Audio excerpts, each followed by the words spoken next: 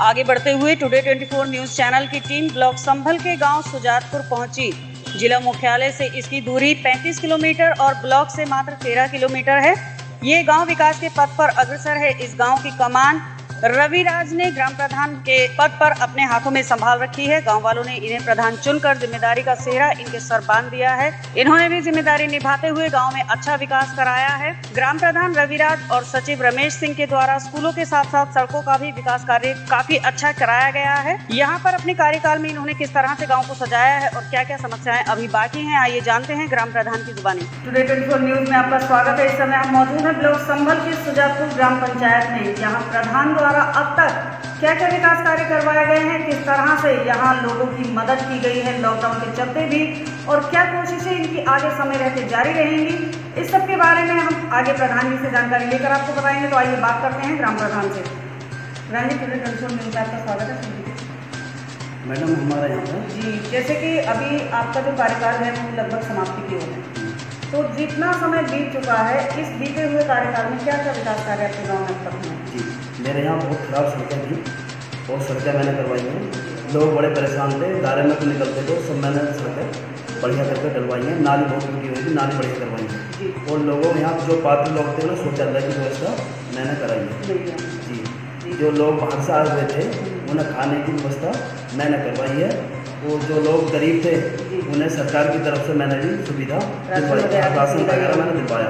आवास मिले लोगों जी को आवाज़ नहीं मिली। एक भी? नहीं आवाज़ नहीं मिले। आवाज़ की तो मैंने कितने परिवार यहाँ ऐसे होंगे जिन्हें आवास की ज़रूरत है? लगभग यहाँ बीस पच्चीस परिवार ऐसे होंगे जिन्हें आवासों की ज़रूरत है। जी। तो अब जितना रास्ता आपने यहाँ पक्का करा दिया लगभग कह सकते हैं कि गाँव में सारे रास्ते पक्के हो गए हैं? अभी भी कुछ कच्चे नहीं नहीं सब सारे रास्ते पक्के हो गए हैं। एक दो रास्ता ऐसा है जो पक्के होने को रहा जी। केंद्र सरकार की जैसी योजनाएँ चलती हैं उज्ज्वला कनेक्शन बिजली कनेक्शन या सम्मान निधि का पैसा भी लोगों को मिल रहा है खाते में तो क्या आपकी ग्राम पंचायत में सभी लोगों को इसका लाभ मिलता है सभी योजनाओं को? जी जी। सब हाँ सब लोगों को मिल रहा है। साफ़ सफ़ाई की व्यवस्था कैसी है? साफ़ सफ़ाई की बढ़िया। सफ़ाई कर्मचारी हाँ जी सफ़ाई कर्मचारी टाइम से हमारे यहाँ आते हैं और सफ़ाई बढ़िया हैं। स्ट्रीट लाइट सोलर लाइट वगैरह लगवाई? जी नहीं जब मैं प्रधान बन के आया था पहले ही साल में लगवाई थी मैंने। जी। उसके बाद नहीं लगवाई। स्कूल में कायाकल्प के अंतर्गत क्या क्या सौंदर्यकरण क्या क्या कार्य करवाए स्कूल में शौचालय मैंने शौचालय बनवाया शौचालय में टाइल पैंस बिछवाई मैंने। और शौचालय में टंकी फिटिंग समर सेविंग ये मैंने कराया। जी। शौचालय की बाउंड्री मैंने कार्य योजना में दे दी है। वो आगे को लॉकडाउन की वजह से रुक गई। जो। सरकारी बिल्डिंग में यहाँ स्कूल के अलावा बारात घर पंचायत भवन ये बने हुए हैं? जी नहीं आंगनबाड़ी केंद्र बना है 2018 में। लेकिन पंचायत घर नहीं है।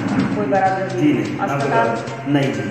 स्वास्थ्य अस्पताल कितनी दूर होगा यहाँ अस्पताल यहाँ से होगा लगभग बारह किलोमीटर। बारह किलोमीटर से पहले कोई भी स्वास्थ्य सुविधा यहाँ लोगों को नहीं मिल जी नहीं। इसके लिए आपने कभी कोशिश की यहाँ जी जी लिख के हाँ जी लिख के दिया। स्वास्थ्य विभाग में मैंने जाकर लिख के दिया लेकिन कोई यहाँ सुविधा नहीं हो पाई। अभी तक कोई सुविधा यहाँ नहीं जी, जी।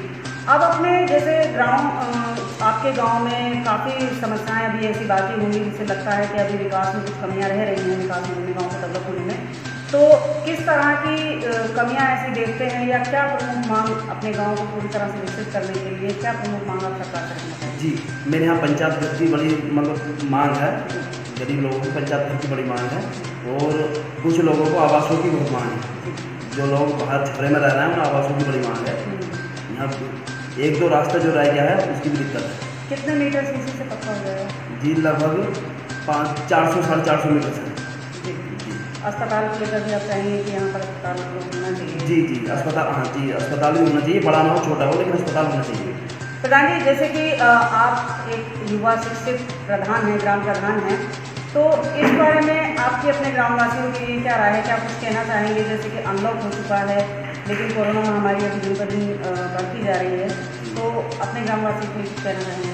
जी मैं अपने ग्रामवासियों के लिए ये कहना चाह रहा हूँ जो लोग बाहर से आए हैं उनके लिए सरकार कुछ ना कुछ व्यवस्था करे जी। उनकी जाने की जहाँ वो बेचारे नौकरी कर रहे थे वहाँ तो अब तो जाने का कोई व्यवस्था ही नहीं वहाँ लेकिन उनके लिए कुछ सरकार सोचे। जी।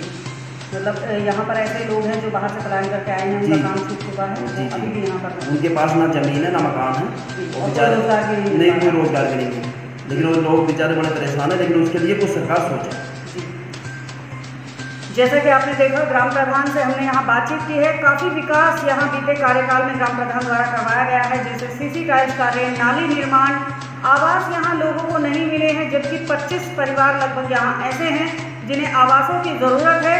स्कूल में भी सौंदर्यकरण का काफ़ी काम जो है करवाया गया है यहाँ पर।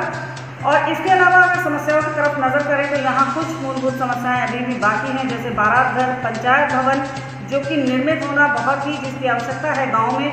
निर्मित होना ज़रूरी है, इसके लिए प्रधान मांग रखते हैं। लगभग चार सौ, साढ़े चार सौ मीटर सीसी के लिए भी यहाँ मांग रखी गई है। सबसे प्रमुख मांग और जो समस्या प्रधान जी द्वारा भी यहाँ बताई है अस्पताल स्वास्थ्य केंद्र को लेकर है, जो कि 12 किलोमीटर से पहले कोई भी स्वास्थ्य केंद्र या उप स्वास्थ्य केंद्र यहाँ मौजूद नहीं है, जिससे अंदाज़ा लगाया जा सकता है कि छोटी बड़ी परेशानी में यहाँ गाँव वालों को किस तरह की दिक्कत का सामना करना पड़ता होगा। और प्रधान जी का जो है एक निवेदन है सरकार से कि जो लोग बाहर से यहाँ आए हैं प्रवासी, जिनके पास अब ना तो कोई काम है और ना ही कोई ज़रिया आगे खाने कमाने का है, उनके लिए चाहते हैं कि सरकार उनकी तरफ़ ध्यान दे उनके लिए कुछ सोचे। अशरफ अली के साथ मनाजिन